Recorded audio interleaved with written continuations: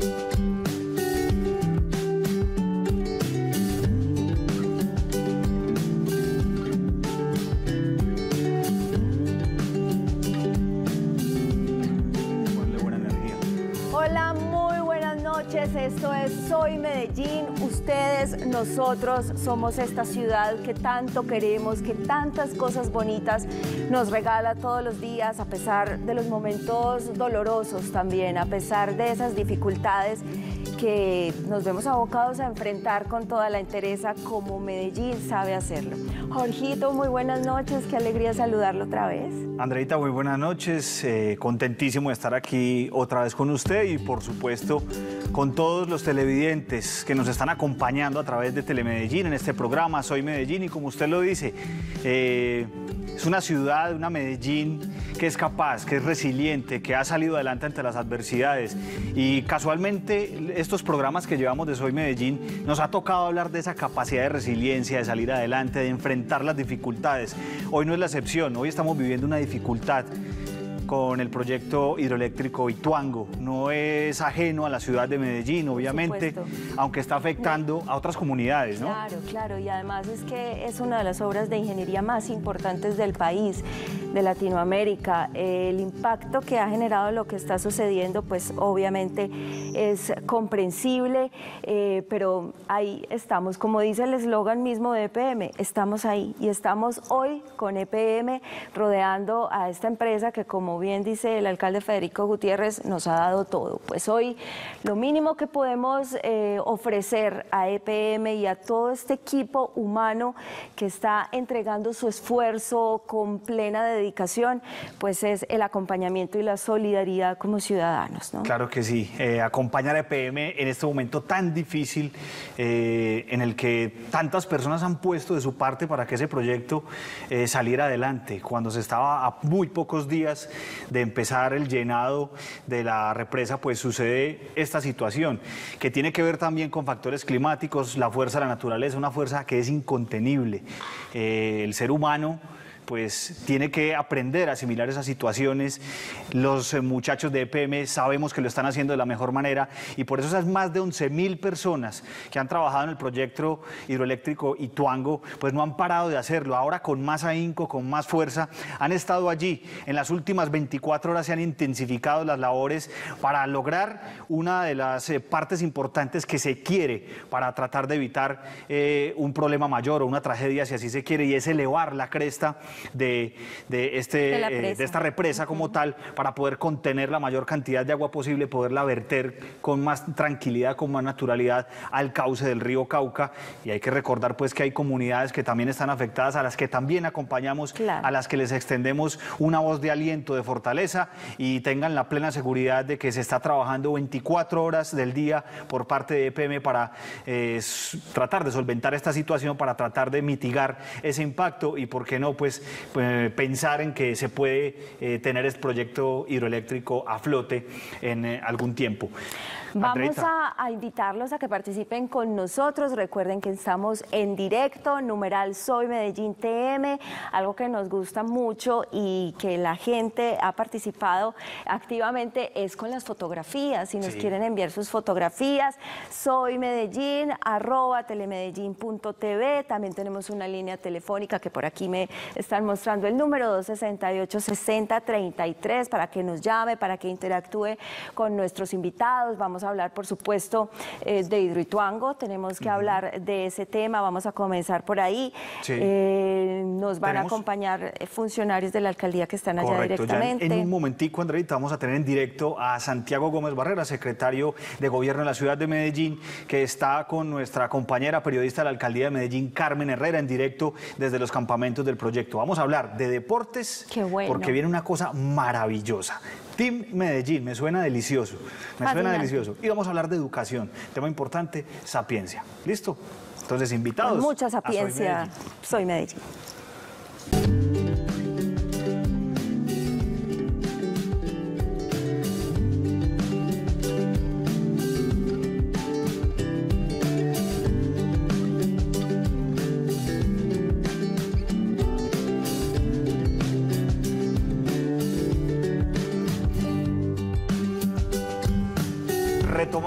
Entonces aquí en Soy Medellín este tema importante, como lo hemos venido mencionando desde que comenzamos, eh, pues la capacidad que tienen los medellinenses, la capacidad que tiene el pueblo antioqueño de salir adelante ante la adversidad, de reponerse, de ser resilientes. Y hoy tenemos que ser más fuertes que nunca y rodear a EPM, esa empresa que, como lo ha dicho el alcalde de Medellín, Federico Gutiérrez, le ha entregado todo no solo a Medellín, sino a los habitantes de Antioquia, de Colombia y de otros países, poniendo para ellos toda su energía, poniendo agua limpia, poniendo una cantidad de programas y de situaciones importantes que pues hoy nos hacen querer a esta empresa, a EPM. Hoy lo más importante, como lo dice el alcalde de Medellín, Federico Gutiérrez, es la gente, esas personas que están aledañas a las riberas del río Cauca, en ese descenso que tiene el río por los municipios del norte del departamento de Antioquia.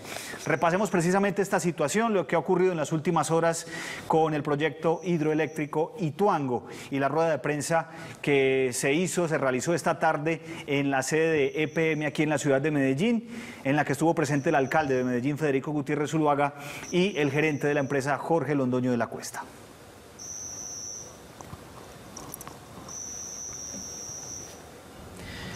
Segundo, consideramos el nivel máximo de riesgo de forma responsable y diciendo la verdad. Lo importante es mantener el nivel máximo de riesgo. Que Dios quiera no ocurra y que ojalá se pueda evitar. Pero es muy importante que las comunidades aguas abajo estén enteradas de la realidad de la situación y lo que puede ocurrir. Que lo primero... André, eso es responsabilidad social. Lo primero, la vida, la seguridad y la tranquilidad de las personas. Claro que sí. Recordemos que también en una carta eh, desde la alcaldía de Medellín y la gobernación de Antioquia se le solicitó al gobierno de Juan Manuel Santos apoyo en esta situación, eh, que es una situación, por supuesto, extraordinaria por lo que podría llegar a suceder.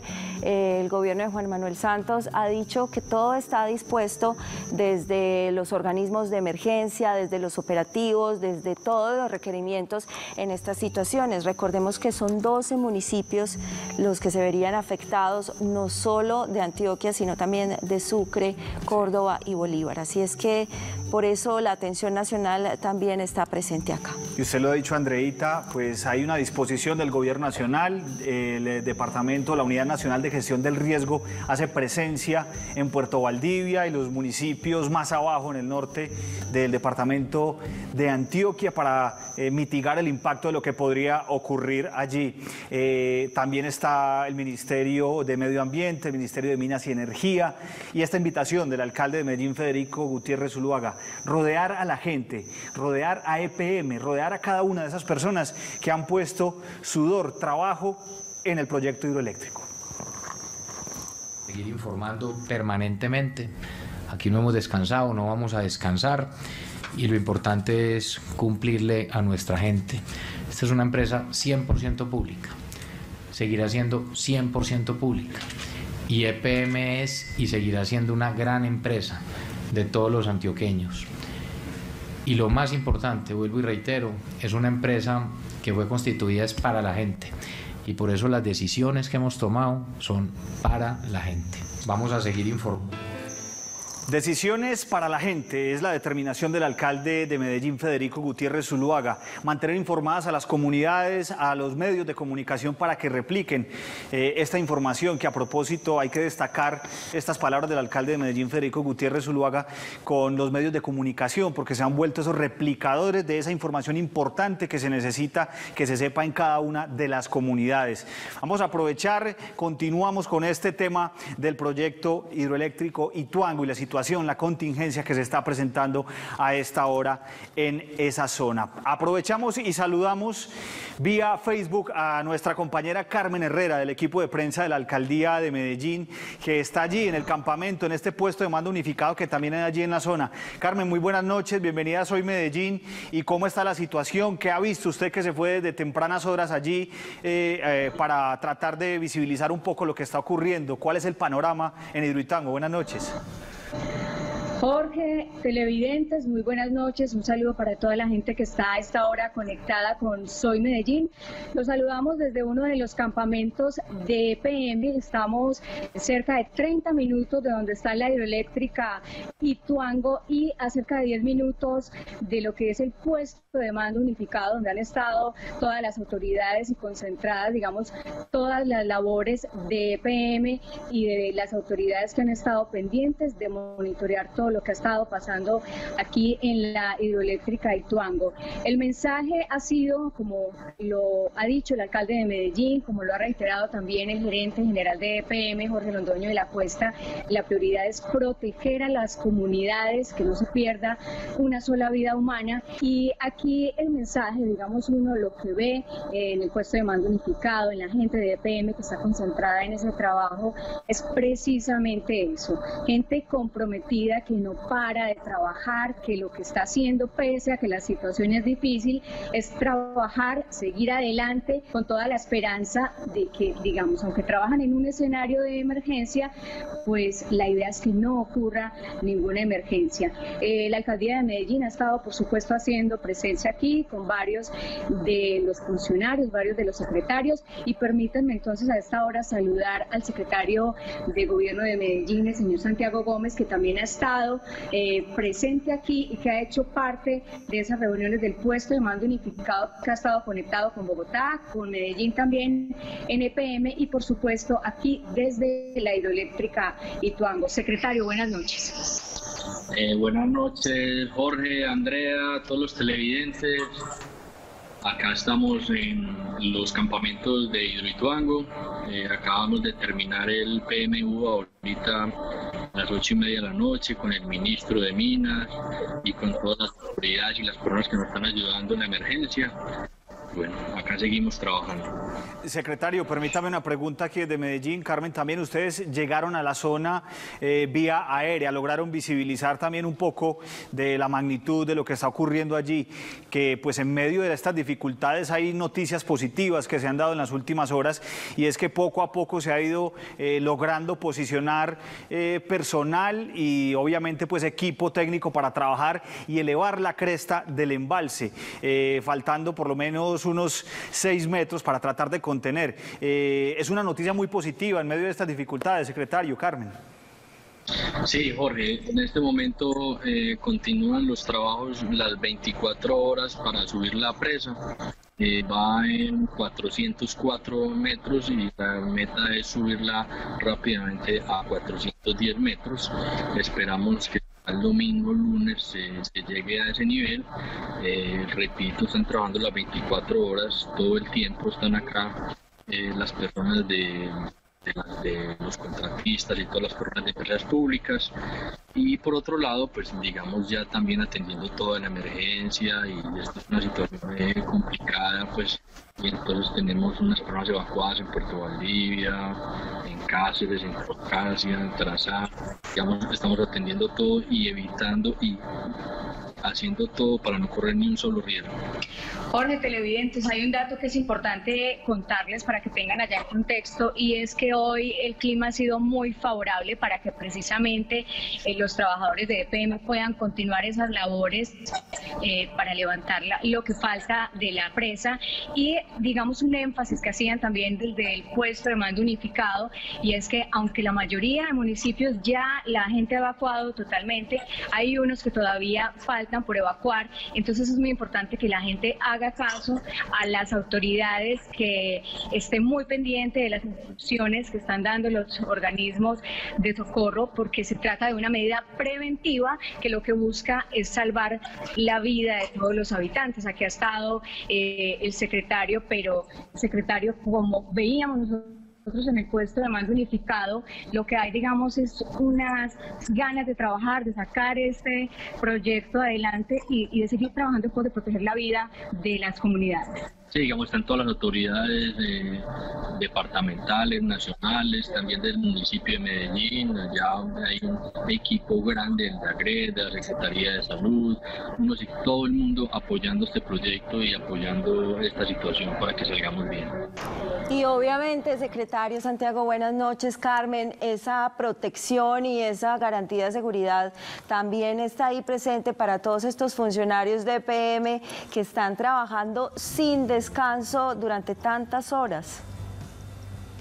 Sí, claro. Lógicamente acá en el proyecto hay todos los cuidados.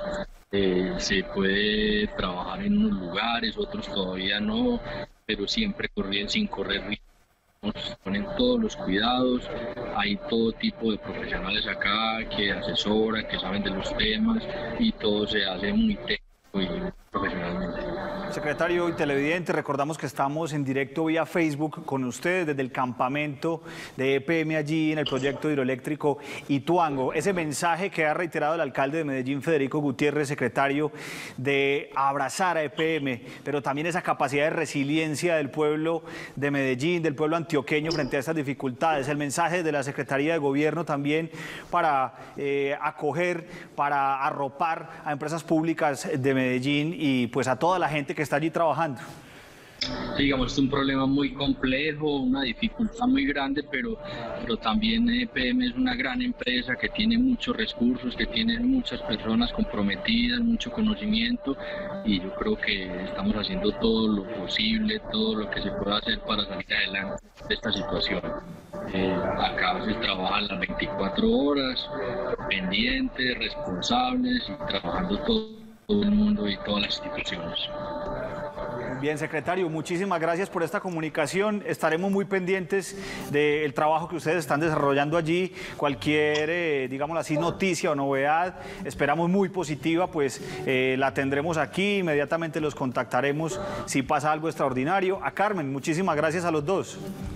Jorge, muchas gracias y recordarles que es muy importante que las comunidades de Puerto Bolivia, de Caucasia, Tarazá, Cáceres, Nechí, estén muy alerta frente a cualquier situación y, y, las que ya, digamos, están evacuadas, por favor tengan paciencia y permanezcan en esa situación. Es mejor no correr riesgo y continuar así. Jorge, muchas gracias. Nosotros los dejamos entonces desde aquí, desde uno de los campamentos de EPM en el, en Vamos a seguir muy pendientes de todo lo que ocurre acá, pero contarles que EPM está haciendo todo el trabajo, todo lo que está en sus manos y lo que humanamente es posible hacer para que, digamos, este momento difícil pase, la empresa lo pueda superar y, por supuesto, eh, regrese la tranquilidad a todas estas comunidades río abajo eh, en, el, en el Cauca. muy buenas noches. Buenas noches, muchísimas gracias a Carmen Herrera, periodista de la Alcaldía de Medellín, del equipo de prensa, y a Santiago Gómez Barrera, secretario de Gobierno de la ciudad de Medellín, entonces con este reporte en directo desde la hidroeléctrica Ituango. Nosotros vamos a hacer una pausita, André, bien sí, importante. Jorge, y reiterar que es muy importante que la las comunidades estén atentas a información oficial, seguir los lineamientos de todas estas informaciones de los organismos que están directamente encargados de atender esta emergencia, porque circulan también muchas noticias que lo que buscan es generar pánico. La situación es compleja, por supuesto, eso nunca lo vamos a desconocer, pero también están ahí todas las autoridades atentas, así es que ustedes, las personas que estén ahí en el área de influencia, pues también a seguir esas informaciones oficiales y ya lo ha dicho EPM, el gerente Jorge Londoño, la orden es evacuar de manera preventiva, por lo menos por un tiempo suceda lo que suceda. Vamos a hacer una pausa, regresamos con nuestros invitados, esto es Soy Medellín.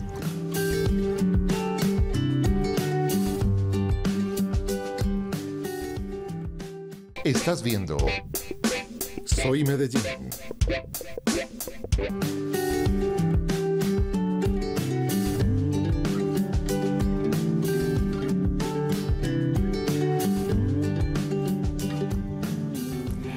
Continuamos en Soy Medellín con todos los temas que nos interesan de esta ciudad que tanto queremos. Les recordamos que tenemos una línea telefónica 268-6033. Estamos atentos a todas sus llamadas, a lo que nos quieran preguntar. También un numeral, numeral Soy Medellín TM a través de Twitter y también estamos atentos a las fotografías que ustedes habitualmente nos envían durante eh, la emisión de nuestro programa eh, al correo soy Medellín, arroba telemedellín.tv. Tiempo de hablar de deporte. todo lo que diga Medellín a mí me encanta. Y si es hablar de deporte, mucho más. Team Medellín, Inder, políticas para el deporte, cosas y yo que tengo un cariño y afecto especial por esa institución. yo sé por, el Inder. Yo sé por qué. Usted sabe por qué, ¿cierto? Inder de Medellín. Enseguida este nos cuenta también un poquito de esa historia. Ahora les cuento un poquito la historia con el Inder de Medellín. Bueno, recibamos entonces a nuestros invitados. Ellos son José Julián Velázquez, él es el director del Team Medellín. Sí, señores, pueden ir pasando, esto es así en vivo y como en la casa. Bienvenidos, qué bueno que estén acá, saludarlos. Julián, mucho gusto. Y por aquí vea, don Giovanni Ruiz, director de momento del INDER de la ciudad, del INDER de Medellín, porque vamos a hablar de algo muy importante. Algo que tal vez estábamos esperando muchos escuchar alguna vez, incluso los mismos muchachos que hacen parte o que se han formado con el INDER de Medellín, y es hablar del Team Medellín. ¿Cómo le parece? Maravilloso, pero es que es una iniciativa que significa como la evolución de esas escuelas populares del deporte que tantas cosas bonitas han hecho por las comunidades de nuestra ciudad. Bienvenido, cuéntanos. Bueno, muchísimas gracias André Jorge, ¿cómo vamos? Eh, un saludo para todos los televidentes y pues muy contentos de poder estar acá. El Team Medellín es esa oportunidad que nosotros hemos visto de que los niños y las niñas puedan trascender al, al ámbito del rendimiento. Nosotros en el el INDER Medellín hemos entendido que hemos hecho una tarea muy buena, muy satisfactoria los últimos 25 años. Hay que contar también a la gente que el INDER este año está cumpliendo 25 años y que estamos muy contentos celebrándolos. Durante esos 25 años, el INDER ha cumplido una tarea sobresaliente en temas de iniciación y formación deportiva. Y tenemos un, un programa bandera en el INDER que es desarrollo deportivo pero encontramos que cuando los niños, esos talentos que identificábamos en las comunas, en cada una de, las disciplinas deportivas, llegaban a desarrollo deportivo, lamentablemente no contaban en muchos casos con el patrocinio o el, auspicio de la empresa privada. Entonces nosotros cuando estuvimos en la campaña con el alcalde Federico Gutiérrez, pues vimos esa necesidad en cada uno de los territorios y dijimos, vamos a construir una, un programa en el que eh, generemos oportunidades para los niños a través del deporte y ahí fue donde creamos el Team Medellín. Que el Team Medellín como programa como ese salto de calidad para que los niños tuvieran ese entorno favorable a la competencia, pero también tenemos el Team Medellín de ciclismo, que es el que nos acompaña el compañero Julián acá y, y, pues nos han ayudado también a generar una gran imagen de la ciudad en el mundo. Es que para hacer el Team Medellín tenían que reunir a los mejores y por eso está este hombre aquí, José Julián Velázquez, eh, uno de los más expertos conocedores del ciclismo de nuestro país, un hombre muy ganado usted conoce bien su trayectoria, lo conocemos bien. ¿Todavía se le puede decir por el apodo? Todavía.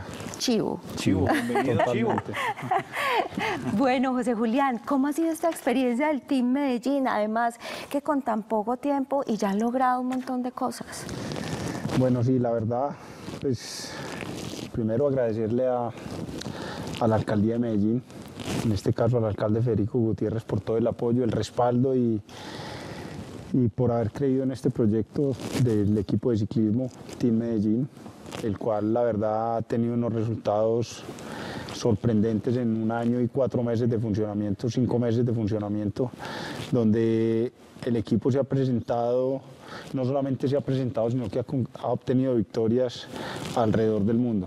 Hemos conseguido triunfos en, en, América, en lo que es Norteamérica, Centroamérica y Sudamérica, hemos conseguido triunfos en, en Europa, hemos conseguido triunfos en Asia. Entonces yo creo que eh, el equipo se ha, se ha, venido posesionando. En este momento ocupamos el segundo puesto en el ranking de América como wow, equipo. Qué bueno. Y pues todo esto se lo debemos gracias al apoyo incondicional del INDER de Medellín y de la Alcaldía de Medellín. Chivo, pero también algo importante ahí es el deportista como tal. Y hay un capo que ha sido referente siempre, es Oscar Sevilla. ¿Cómo va la recuperación de Oscar? Eh, ¿Cómo avanza precisamente ese? Y bueno, el ánimo en el resto del equipo también. ¿Cómo está esa situación? Bueno, a ver, Oscar, Oscar ya se encuentra entrenando. Oscar... Eh, preliminarmente su, su, su, para iba a ser de cuatro meses, realmente fue solamente de cinco semanas, uh -huh. a las cinco semanas ya pudo volver a entrenar. Eh, a la sexta semana pudo competir ahora en la Vuelta a Madrid. La verdad, pues no pudo ratificar eh, su título del año anterior, pero fue un gran aporte para el equipo donde logramos conseguir el tercer lugar por intermedio de Jonathan eh, Caicedo, donde logramos el, el, tercer puesto en la clasificación general. Oscar es un corredor muy profesional Sí. que yo creo que, que este equipo y Oscar es muy interesante para, para el tema del Team Es Medellín. un gran líder. Porque es un gran líder y es un gran referente, por ejemplo, para todos estos programas que ahora quiere el Inter de Medellín con el Team Medellín, donde los niños quieren ser deportistas de alto rendimiento, deportistas profesionales. Yo creo que Oscar y el equipo son un referente o una imagen para que ellos lo imiten y tengan a quien, a quien seguir. Claro ¿Qué otras sí. figuras hay ahí, Chivo? Bueno, tenemos corredores muy importantes. El caso ahora de, de Jonathan Caicedo, que acaba de, de, ser segundo en la Vuelta Asturias, segundo en la Vuelta, eh, tercero en la Vuelta Madrid.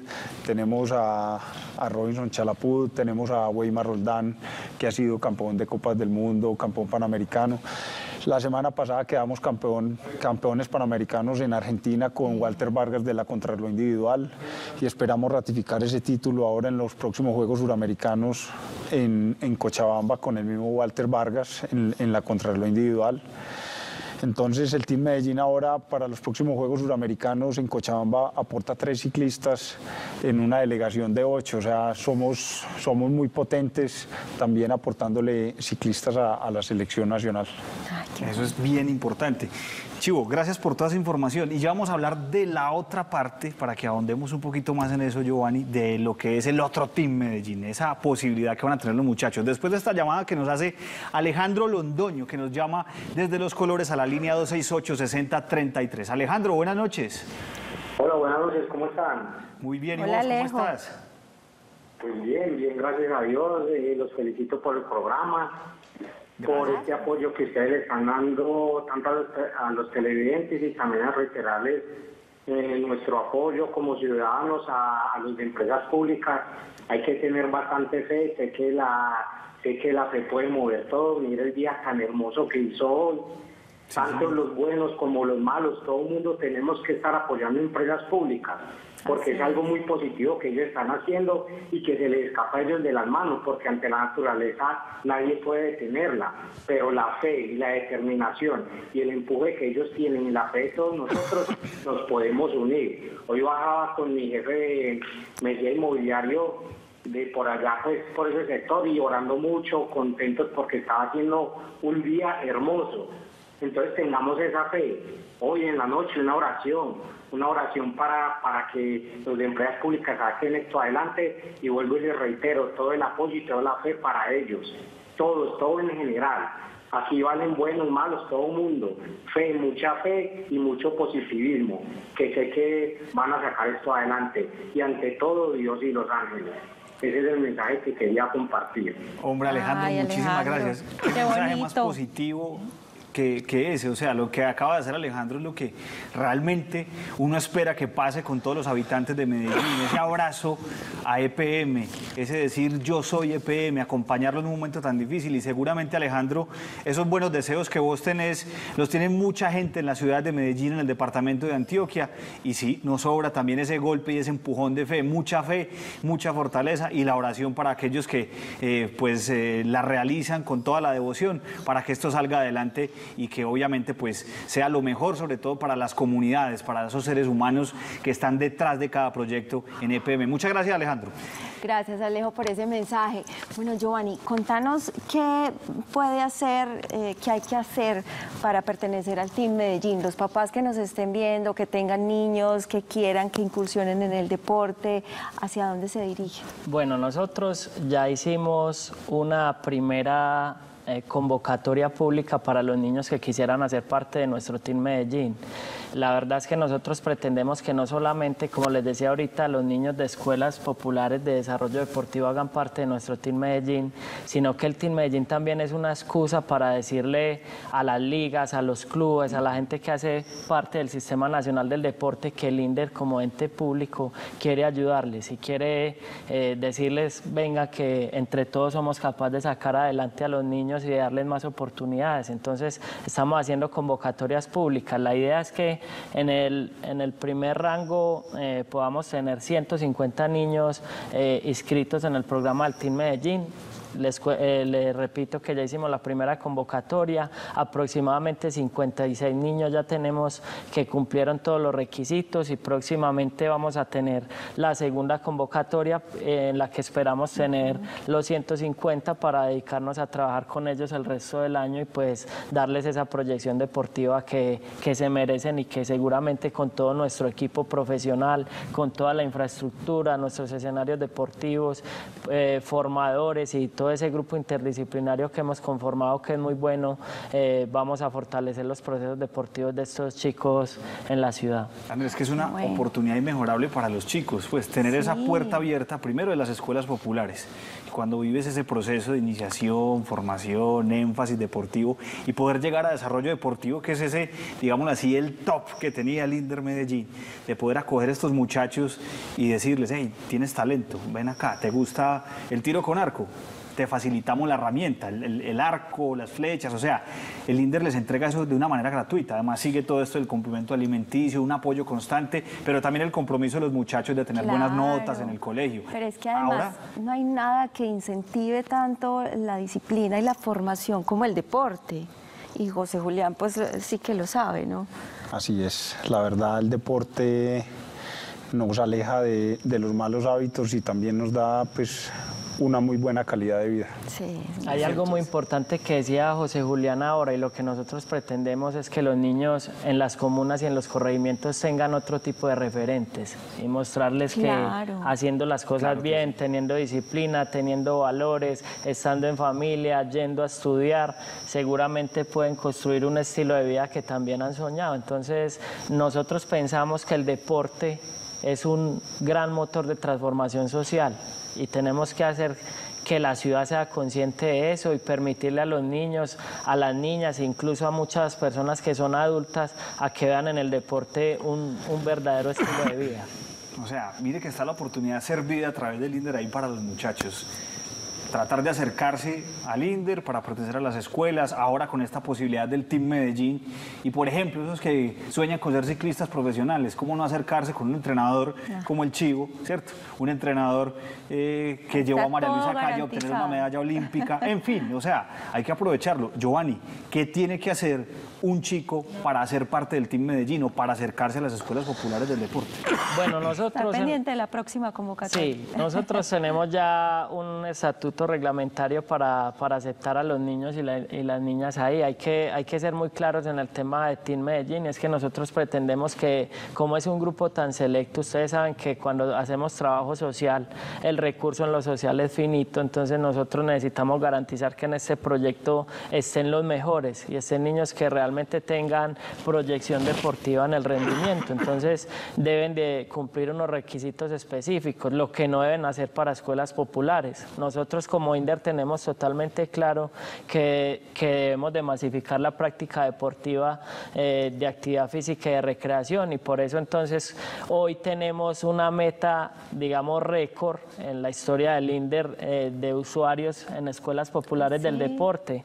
Eh, estamos sobre los 40 mil usuarios en, en, en, escuelas populares, ahí masificamos, pero entonces ya vienen esos programas, eh, programas como el Team Medellín, como Desarrollo Deportivo, en, lo que ya, en los que ya buscamos una especificidad y buscamos que los niños que tienen una proyección hacia el rendimiento tengan ese entorno deportivo favorable que le permita representar de muy buena manera a la ciudad, al departamento y al país. Uh -huh. José Julián, ¿qué viene para el Team Medellín este año? Bueno, ahora acabamos pues de cumplir esta gira por España. La próxima semana saldremos con el equipo para Estados Unidos a Carolina del Norte. Eh, allí estaremos participando en una carrera que se llama Winston Sailing Classic. Luego prepararemos lo que es ya una temporada acá en Colombia, lo que es Vuelta a Colombia, Clásico RCN, Vuelta a Antioquia, Clásica Marco Fidel Suárez y terminaremos el año con eh, Vuelta a México, Vuelta a Chile, eh, una carrera en China que tenemos por confirmar. O sea, todavía lo que tenemos es calendario. Mejor dicho, siquiera lo entrevistamos ya porque no lo vamos a ver ya hasta final de año. No, no, la verdad, tenemos que tener tiempo para acá y, y aprovecho la oportunidad para para decir que el Team Medellín eh, se solidariza con empresas públicas Ay, de Medellín, bueno, claro. con Hidroitango, con todas las empresas que hacen parte de este gran proyecto que, que, no solamente es de ellos, es un proyecto que es para todos y para el servicio de todos los que habitamos acá en Medellín, Antioquia y en Colombia. Y yo creo que EPM es una empresa digna de reconocer por todos nosotros. Claro que sí, qué importante. Una pregunta que no nos puede faltar, así como ese trabajo del INDER pues, se ha hecho de barrio en barrio, eh, hay posibilidad de llevar ese Team Medellín de ciclismo a los barrios y traer esos talentos a esos muchachos y acercarlos a, la alta competencia. Esa es la idea. La idea es que el Team Medellín se, vuelva más social todavía, que no sea solamente un generador de resultados deportivos o, un generador de imagen de, la marca o de la ciudad de Medellín a nivel nacional o, o en el mundo, sino también es eh, hacer presencia en, los barrios populares, en los colegios e intentar traer y masificar más, más niños a, a la práctica del deporte y en este caso del ciclismo.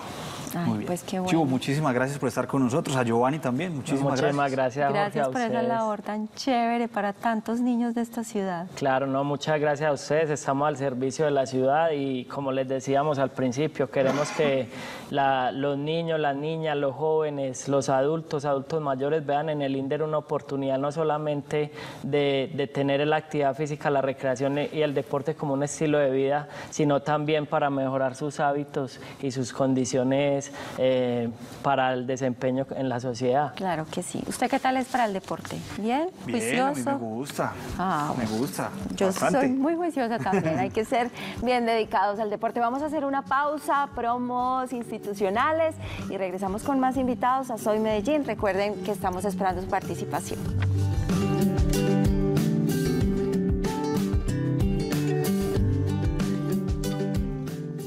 Estás viendo Soy Medellín.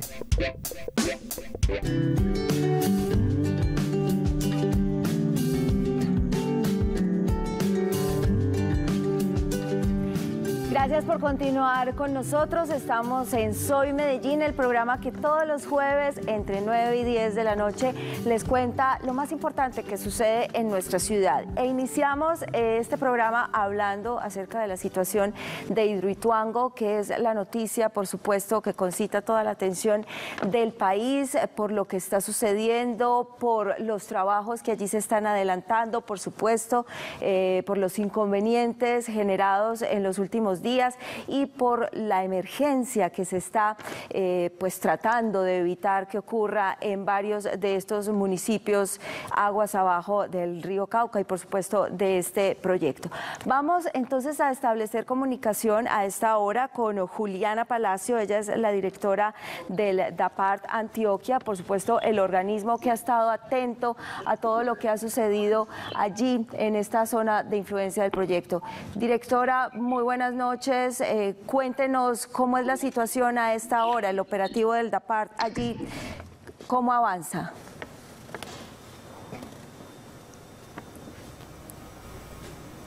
Bueno, directora, tenemos problemas con el audio. Bueno, ya. Ahora sí. La escuchamos, directora. Sí, buenas noches. Estamos desde el proyecto hidroeléctrico Ituango, en el CMU, con todos los organismos que hacen parte del Consejo Departamental de Gestión del Riesgo. En este momento tenemos un reporte desde el corregimiento de Valdivia, que hubo eh, todo las personas que fueron evacuadas y, llevadas hasta el municipio de Valdivia. En total fueron 1.700 personas, 350 familias que están ubicadas en cinco albergues en el municipio de Valdivia.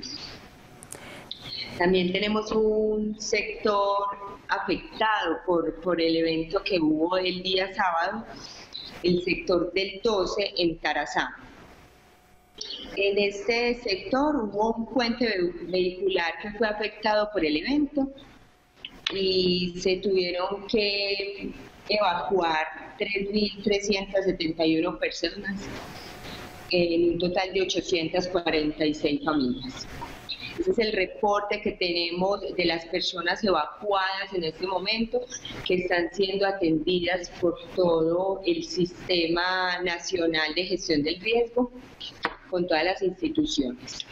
Y lo que debemos resaltar el día de hoy es el acompañamiento que nos está haciendo el DAGRED.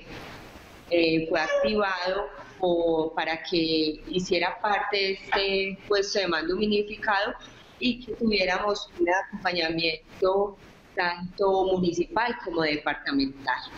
Eh, Andrea Jorge, buenas noches. Eh, complementando la información con la doctora Juliana y con Diego Moreno, subdirector de manejo de desastres del DAGRE, eh, respecto a las informaciones no oficiales que circulan por redes sociales, ¿qué recomendación le hacemos a la ciudadanía, a la comunidad en especial? Estas comunicaciones no deben ser difundidas porque le están eh, causando pánico a las personas. Nosotros tenemos que tener, estar muy atentos en la información oficial de, las, de los organismos. La información oficial en ese momento sale desde el PMU de Ituango somos los únicos que estamos eh, autorizados a dar las, las informaciones. Eh, ahora, doctor Diego, buenas noches. Eh, ¿Cómo se suma Medellín a acompañar todo este trabajo articulado con, con los organismos de desastre a nivel nacional? Una de las fortalezas de, nuestra nación es que la ley 1523 establece los niveles de actuación. Evidentemente, los, municipios, cuando las emergencias superan su capacidad de respuesta, activan el, el, departamento y a su vez el, el país. En este caso, el DAFAR como entidad de gestión de riesgos del departamento de Antioquia toma la decisión de solicitar el apoyo al municipio de Medellín y hemos enviado dos componentes importantes. Uno de ellos es un equipo administrativo y directivo que permite soportar todas las actividades estratégicas y técnicas alrededor de la gestión del riesgo eh, en lo relacionado con la producción y manejo del desastre. Y un equipo operativo que ha sido enviado a la zona que se ha considerado como de alto riesgo en el sector de Valdivia inicialmente, donde soportaremos toda, toda la operación que desde la par se establezca con el coordinador de operaciones para cubrir todas las regiones que posiblemente pueden ser afectadas en el eh, Jorge, Andrea, ¿ustedes tienen, tienen alguna otra inquietud con respecto al puesto de mando unificado? Claro que sí, Andrés, buenas noches para la directora, para Diego Moreno, también subdirector del DAGRET. Eh, es muy importante esa labor que se está realizando para prevenir, obviamente, situaciones de riesgo con la población eh, que está arriba abajo. Eh, también hay un plan de contingencia, hay unos requerimientos, unas recomendaciones para el personal de PM que se mantiene trabajando precisamente en levantar la cresta de la represa. Sí, hay unas restricciones. Ayer estuvo la, la ARL del proyecto evaluando las situaciones para que las personas retornaran a su Bueno, parece. Tenemos ahí un problemita de audio. Si Andrés nos escucha, a ver si puede de pronto Sí, sí Jorge, adelante. Sí, no, no, escuchamos la última parte de la directora y. Doctora, nos explica la última parte respecto a la ARL. Cuando se retorna a los trabajos el día de ayer, quien evalúa esta situación es la ARL del proyecto, para que los trabajadores tuvieran toda la seguridad para poder retornar a sus labores. Hay unos, unas restricciones, unos horarios y ellos los tienen muy establecidos en el proyecto. Bueno, pues fundamental esta comunicación que hemos establecido con ustedes. Eh, valga enviarles nuestro saludo de apoyo, de acompañamiento también a ustedes, los responsables de la seguridad, de la vida de tantas personas. Muchísimas gracias por habernos acompañado. Eh, directora del DAPAR, Juliana Palacio, Diego Moreno, subdirector del DAGRED y Andrés, nuestro compañero, Andrés Manrique, por supuesto, que nos ha ayudado con esa labor de reportería desde allá del lugar. Muchísimas gracias a ustedes y estamos con ustedes desde acá. Gracias a ustedes también. Bueno,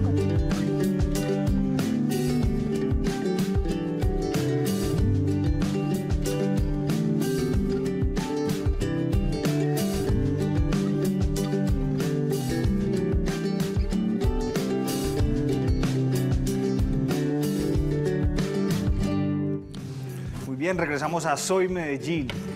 El llamado, el apoyo para EPM, para cada una de las personas que pone su trabajo, su sudor, su entrega, su conocimiento para tratar de que esta situación pues no pase a mayores, para tratar de mitigar el riesgo. Esa es la labor también que hace el DAPAR, el DAGRED allí, trabajando constantemente. Cambiemos de tema, Andrea. Cambiemos de tema. Es un tema que a mí me encanta porque seguimos hablando de oportunidades para nuestros jóvenes y oportunidades en educación, que sí hay muchas. Eh, a veces lo que nos pasa es que desconocemos todos los proyectos, los programas de la Alcaldía de Medellín y hay algo maravilloso que cuando yo lo conocí yo dije, pero ¿por qué todos los días no hablamos de esto en todas partes? Y es el programa Sapiencia. Claro, y que mucha gente se pregunta, o sea, esto existe, esto es real, sí, es real. Y hay muchas personas que, eh, pues precisamente con ese ahínco, con ese entusiasmo de ir a buscar esa posibilidad de salir adelante, de seguir estudiando, de seguir formándose, pues llegan hasta allí. Y esto hay que hacerlo más constantemente. ¿Por qué no se habla todos los días de esto? Pues hoy es la oportunidad. Hoy es la oportunidad para que nos cuenten cómo se hace, cómo llegar a adquirir las becas a Piense quién soy Medellín. Estamos justamente con uno de esos estudiantes dedicados, eh, juiciosos, que ha sido beneficiario de uno de los programas de, de Sapiencia. Él es Luis Ángel Herrera, a quien invitamos a que nos acompañe por acá. Él está muy juicioso desde temprano, esperando que lo hagamos seguir para que nos cuente Jorge, Luis, ¿cómo estás? Gracias, muy bien, muy Luis, bien. sentate, Luis bienvenido. Herrera estudiante de tecnología en gestión comunitaria. Sí. Tenés nombre de señor. ¿Cierto? Sí, como que Luis después de los 40, más o menos. Angelito todavía, Angelito todavía. Bueno, Luis, estudias, ya Jorgito decía que estudias tecnología en gestión comunitaria. Sí, así es. Contanos de qué se trata. Pues mira, básicamente, pues es uno de los, una rama de las ciencias sociales y es puro trabajo con comunidad, puro trabajo con comunidad. Eh, acercamiento con comunidad, muy bacano, es muy bacano. Eh, justamente desde primeros semestres y lo que dura la tecnología hay unos, algo que llaman integrativo. Y, se trata justamente de eso, de ir acercándose a, la comunidad. creería yo que una de las intenciones de ello es salir al campo laboral y de pronto no, no verse como estrellado, ya por lo menos tener herramientas para este tipo de cositas. Y vamos al detalle, Luis. Hablemos de cómo llegaste, cómo te diste cuenta de las famosas becas Sapiencia. ¿Las buscaste? ¿Qué fue lo que hiciste? ¿Qué son? Vos que sos beneficiario, vos que buscaste la oportunidad, contarle a la gente que sí se puede, que ahí está la oportunidad. No, mira, la, un día cualquiera me, me mandaron un link al correo, como te puede interesar. Como, ah, miremos. Comencé a leer y yo, bueno, aplico con esto, aplico con esto, aplico con esto. Curiosamente ese día tenía varios de los documentos en la USB y yo, de una vez. ¿Ah, sí? Sí, de una vez. O sea, ese mismo día que me lo mandaron, de una vez. Eh, Y, y cuando viste los requisitos, ¿qué, qué- pensaste? ¿Esto es muy complicado? ¿O de- No, o de, una nada, dijiste, pues. tengo esto, tengo esto, O tengo sea, mira, esto"? o sea, cosas básicas como eh, tener hasta 28 años, ser bachiller, haber vivido pues, en alguno de los barrios de eh, beneficiarios pues, para las becas eh, tres años, a partir de tres años o más, eh, certificado de CISBEN, bueno, o sea, Sí. cosas que, que uno diría, cualquier pelado joven de la ciudad cumple con todos esos requisitos. ¿cierto? Entonces fue como, no, démosle enviar a este clic y bueno, esperemos a ver si salimos beneficiados y bueno.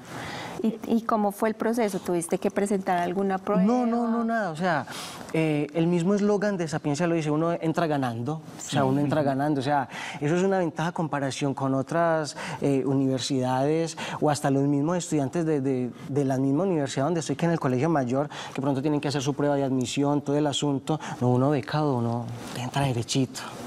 Derechito, o sea, beneficiario con beca, uno únicamente le dicen tal día, eh, inducciones, a la semana siguiente clases. Ay, qué bueno. Muy rico, muy rico. Y tan sencillo como decirle a la gente, sí se puede, ¿por qué? Porque si usted tiene ganas de estudiar y hacerse a una de estas becas eh, de programas tecnológicos, solo basta con entrar a www.sapiencia.gov.co y ahí está todo. Usted lo mira, yo quiero esto, se postula. Sí. Y como usted lo dice, entra ganando.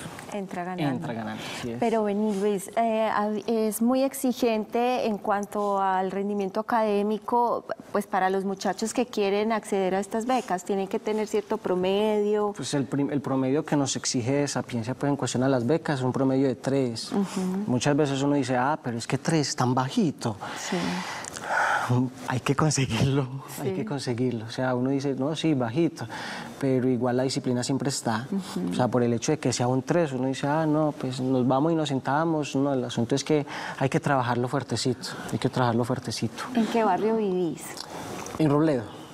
En Robledo. Soy del barrio Robledo. Eh, y y allá tus, tus vecinos, los muchachos de tu barrio, eh, ¿ves que también han tenido acceso a este tipo de programas? ¿O vos sos como un ejemplo para ellos, por supuesto, para que también busquen acceder a, a- a las oportunidades de sapiencia? No, del barrio hoy, pues sí, todo lo que es como Comuna 7 se ha visto beneficiado, o sea, tanto por el lado de sapiencia como por presupuesto participativo. Sí.